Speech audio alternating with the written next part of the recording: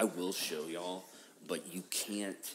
No, don't make it weird. Don't make it like a weird thing. Okay, I'm gonna show you. So.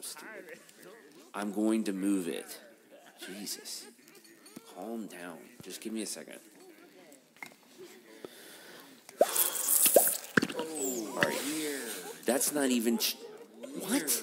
That's not Chinese. That's not even Chinese. Welcome to the Mind Field.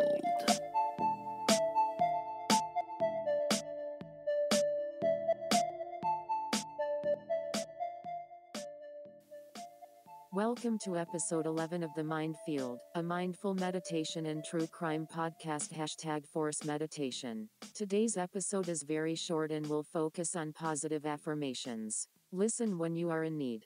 First, take a deep breath and close your eyes. Unless you're operating a vehicle or heavy machinery. If that is the case, just sort of squint. Positive affirmations for a rainy day. You are strong. You are capable. You can do anything. You are bigger and stronger than your fear of pimento cheese.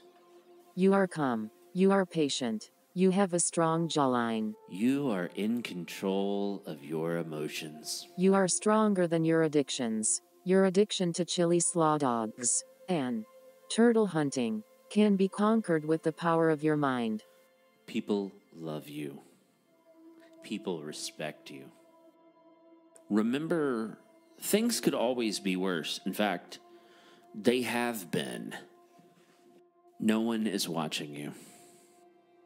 Everyone is watching you. No more road rage.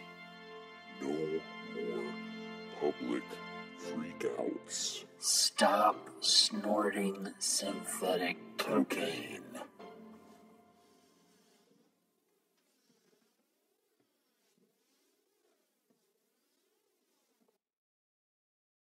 That's today's episode. Thanks for sticking around. It's a short one. Come back next week. We're going to be talking romance, how to bring spark back in your relationship with meditation and true crime. You're now leaving the Mind Field.